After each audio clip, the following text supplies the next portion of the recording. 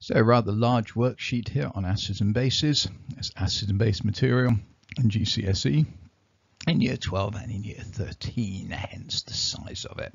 So I'm going to run through some parts relatively quickly because there is quite a bit of rep repetition there and also some fairly fundamental ideas that shouldn't need dwelling on. I am also, of course, as you might have seen from the movies, going to be discussing ways in which the traditional A-level shortcuts are inappropriate at times, and so providing you with a much more general way to think about certain things. But anyway, start off with foundation. Which following, not a strong acid in aqueous solution, you either know it or you don't. HF is the classic cliched example of this type of question.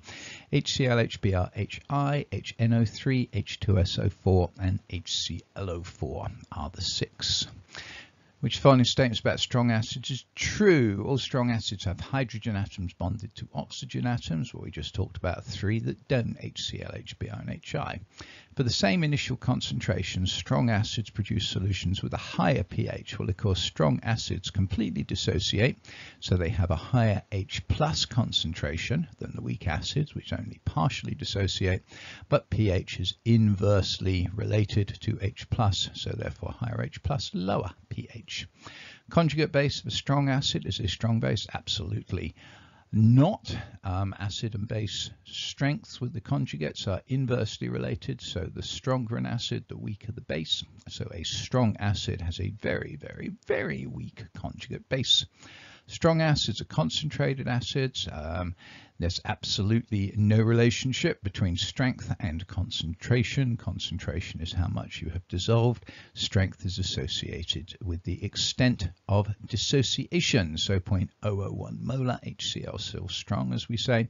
So in other words, all four of those statements are total hogwash. So E is the correct answer here pH 0.0015 molar solution HNO3. You need to recognize HNO3 as a strong acid.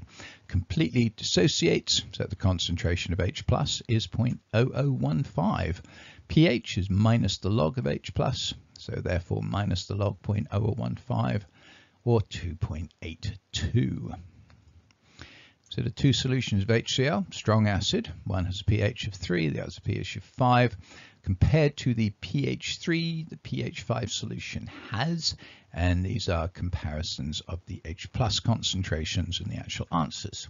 So pH is minus the log of H plus so pH of 3 that means the log of H plus is minus 3 or in other words the H plus is the 10 to the power of minus 3 1 times 10 to the minus 3 so the pH solution H plus 1 times 10 to the minus 3 pH of 5, same calculations, pop it in, concentration of H plus 1 times 10 to the minus 5. So the pH of 3 has more H plus than the pH of 5.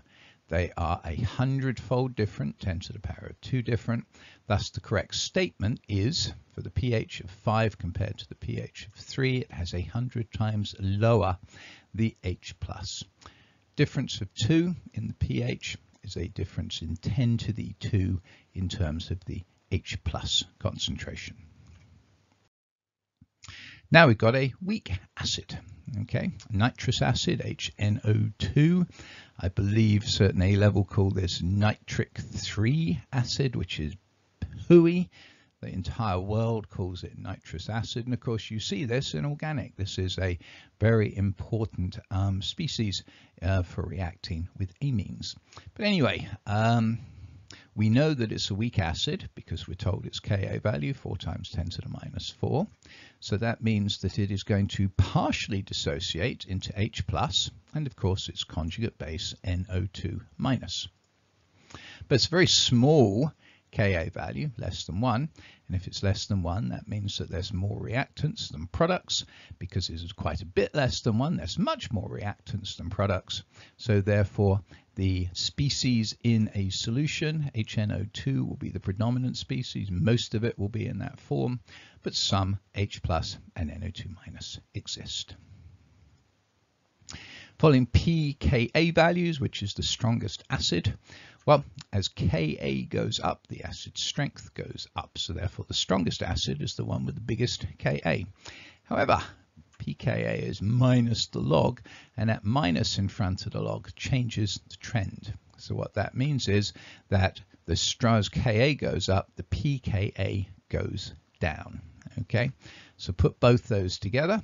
As the acid strength goes up, the pKa goes down. In other words, the strongest acid is the one with the smallest pKa, which is 0.77. So 0.77, this is the strongest acid, then HNO2, then HF, and then HBRO, and then the weakest acid here, HCN, because the pKa is the biggest, which means the Ka is the smallest.